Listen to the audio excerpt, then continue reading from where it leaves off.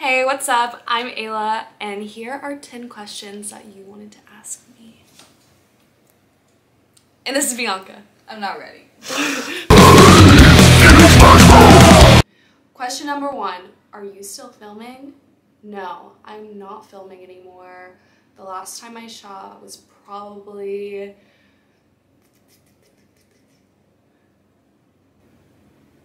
Probably like July. The last time I flew to LA was in July, but I canceled all my shoots because I was seeing someone. But no, I have not gone back since. I do have plans to start an OnlyFans uh, in the future, so maybe you will get new content of me. Who knows? I'm not really in a rush to put anything out. okay, question number two.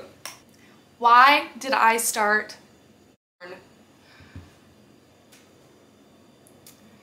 Well, when the idea first popped in my head, I was 18.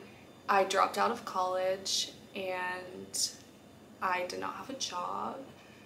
I was living with an ex-boyfriend and I really had this urge to just go do something and have fun and I wanted money fast and I had been posting on Reddit for a few months anonymously.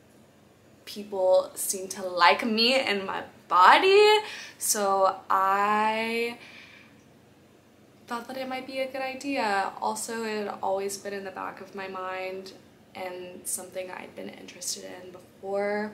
Don't know why. Uh, don't know why. Uh, the the short answer to that is money, freedom, clothes, good sex, and rebellion and defying everything that was going on around me. And self-sabotage. A little a, a little bit of self-sabotage. Question number three.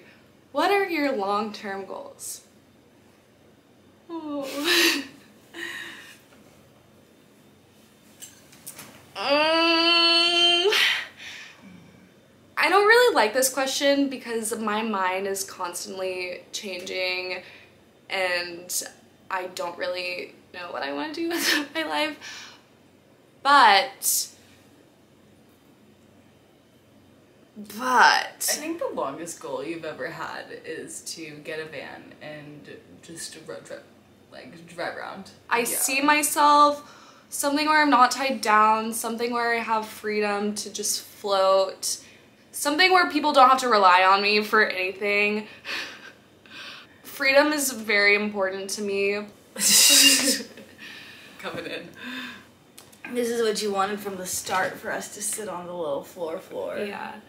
What are my long-term goals? My long-term goals are to have a farm, have a family, have Cows. lots and lots of cows and cash.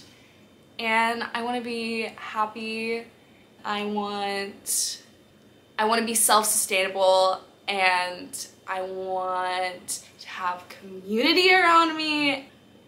I want Bianca to come with me. We're gonna have a commune. We're we're totally Is gonna that have like a commune, yeah. Kevin's there. We'll have good milk. uh, what else will be on our commune? Holy vibes, Holy vibes. peace. Everyone. Love. I mean, not everyone is welcome, but most most are welcome. Holy vibes. If you have holy vibes, you're welcome. Uh, what are what are my other long term goals? I want to learn another language. I currently have been practicing Russian, um, which might be useful if I want to be like a spy or something. I don't know why Russian, but It's the hardest language, and a girl likes a challenge. it's exciting to me. Question number four. Oh. Okay, what do your friends and family think of your career? That is a great question. Well, I don't really have a lot of friends. and my family took it pretty well. I mean, they found out before I even started. They were pretty open with everyone about it. Well, I didn't want to tell my family when I started. I didn't even want to tell you. She did not want to tell me. My ex-boyfriend was the one to ring the bell on everything that was going on. And my parents came to me and were like, hey girl, what are you doing? And I was like, I need to do this. I want to, I need to be on my own. I need to go get this money. and they were like, okay. They were really concerned about my safety. They didn't know that it, if it was legit or not.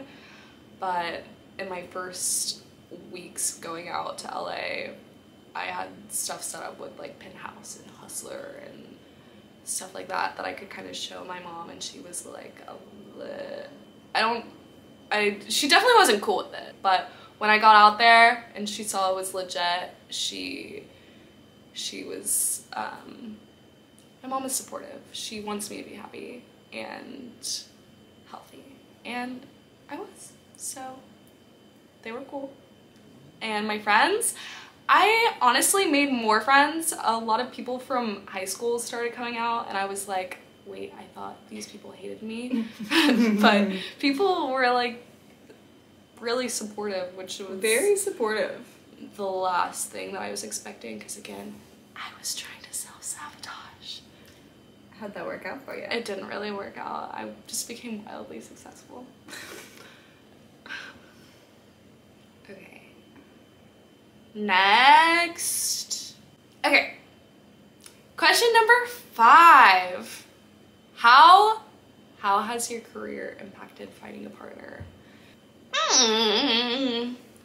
Well, I would say when I first started, I had just gotten out of a relationship and I had no interest in looking for another partner.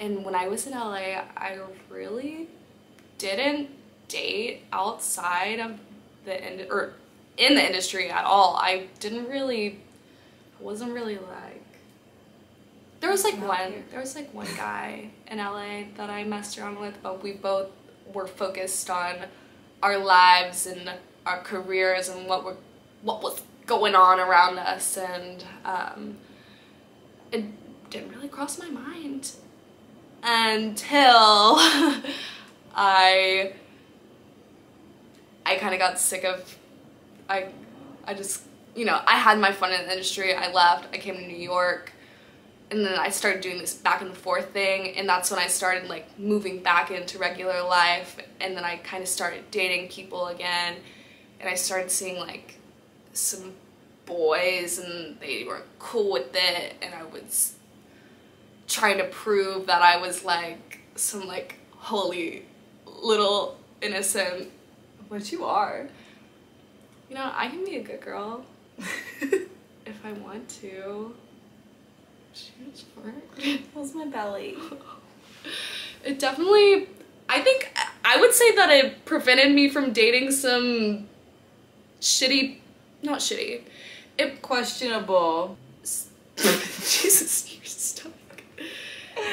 It definitely saved me from some questionable relationships because if someone can't take all of me, then you're not gonna be able you. to take any of me. Mm. But currently, I am in a relationship with with this very sweet boy. If you're watching this, I love you.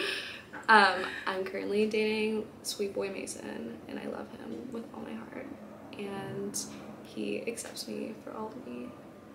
And we've been good friends for a while, so that's also a difference. It's not just like some dude I met swapping on the streets.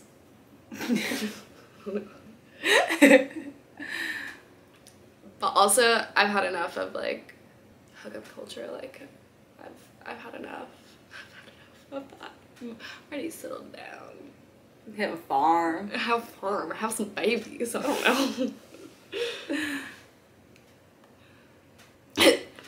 Number six. does size matter?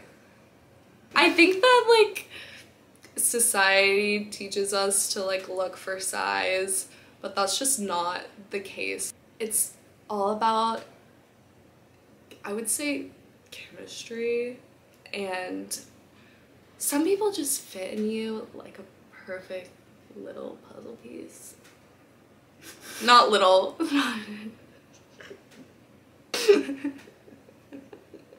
Not little. Perfect puzzle piece.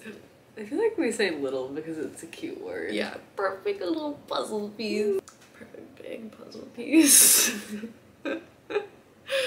Just the, the right size puzzle piece. yeah, like some people can have the biggest puzzle piece and it just doesn't feel right. And some people do have the smallest puzzle piece and it feels horrible.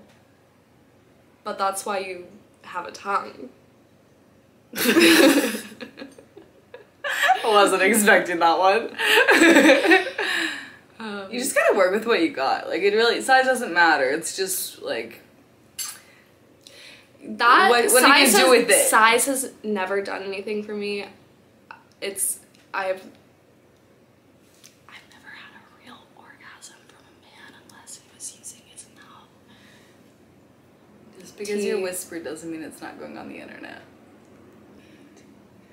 Um, also, I didn't have my first O with a man until I left the industry. Which is crazy. It's for me, it was some people some people have different experiences, but for me it was just a woo crazy ride for fun. Yeah, for fun. Number seven. Number seven. What's my sexuality? I would consider myself bisexual, um, even though I've never dated a woman. There was this one girl in seventh grade that caused my sexual awakening. I'm serious. I'm serious. You know who you are. I'm, I'm sure that you're watching this. But I love women. I I've thought I was a lesbian several times in my life. Doc still does. Sometimes, yeah. Maybe I will be one day. Who knows? um, but yeah, I'd say that I um, am, or queer. I don't know. I'll, I'll have anything. You don't have to check a box if you don't want to. Yeah. I don't really want to label. I I rip those off. Actually, I like I like queer. Queer is a good label for. I don't want to label. Take it back. queer. Okay. Number eight. Damn girl. Stop. Number We ate a lot of enchiladas. I'll do it to ya. Number eight. Have I ever caught feelings for a co-star? No, I. D- not no like that. There was like one person that I worked with over and over again who I would say I would be excited to come work with. No, there was no one. I mean, I definitely had a lot of crushes. I would say that while filming, I was extremely emotionally unavailable and just horny. And I don't think anyone was trying to get at me. I mean, I was I was kind of sad. I was like, I would be down to like find a industry lover and no, that's a lie. I wasn't looking for love. That's not your vibe. That's not my that wasn't my vibe. Mm-mm. No, I didn't, but there was one special person in my heart. I don't know if y'all would be able to guess. Okay, number nine. Did you ever go to school or have a real job? Uh, kinda. I kind of did. When I graduated in 2018 from high school, I went to ACC, Austin Community College, but dropped out. School was just not for me. I gave up on homework in eighth grade. and barely graduated high school. I didn't I I don't I don't think I I don't know what I did. Okay, basically what I'm saying is school was not for me. Jobs. I've had a lot of jobs. My first job, I worked at Hula Hut as a hostess. My second job, I worked at. Where was my second job? My second job was at Maudie's. These were all in Austin. My third job was at Amy's Ice Cream. My fourth job was at Chipotle, but I never showed up. My fifth job was at Hat Creek. My sixth job was at Freebirds. Damn! And my seventh and final job was at Home Slice Pizza. No, you missed one. What? Thundercloud subs. Oh, and I worked at Thundercloud. I got I got all of the local essentials. I hit all of them. That's a lot of restaurants. I'm just like I'm socially awkward and anxious and in work settings I just felt so uncomfortable and never knew like how to interact with customers and I just always felt like I was doing everything wrong and that I was stupid even though I wasn't I just like could never get comfortable probably because I never stayed long enough I think the longest job I had was three and a half months. Yeah, so those seven jobs weren't long term at all. Very short term. This is actually the longest job you've ever had. I'm I don't have a job. Number 10. All right, number 10 and the final question. Um, what was my first experience like on camera? Well, let me tell you, I was a little too excited and totally just like ruined my career. I mean, not not No. ruined, but like It was the beginning. I who who guided me like like I really went all out. I was doing you know threesome. Your first shoot? My first shoot I did And you had threesome? my second shoot, but this is like the same company. Mm. And I got like not underpaid, but my rate only went up from there. But I was just like so happy to be there. I was like, sign me up, sign me up for whatever, y'all. And they did.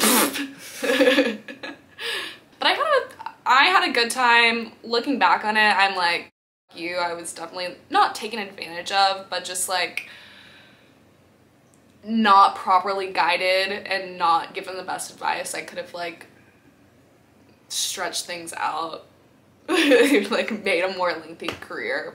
I didn't. I just like really just went for it because I wanted to. That's what I was there to do. But it was fun.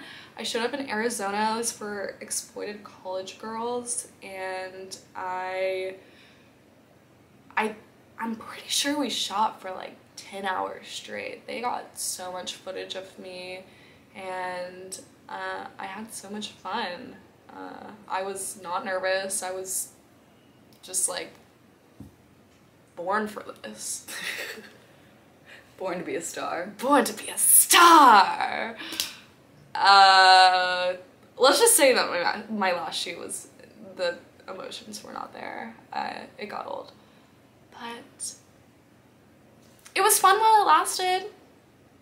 Now we're moving on to new things. Yeah, we're we're moving on to different things. Mm-hmm. Okay, thank you guys so much for watching this. If you're still here, this was my first video, so if you like it, give it a thumbs up and make sure to subscribe. Subscribe. subscribe to me. Down below. I will appreciate it. And um,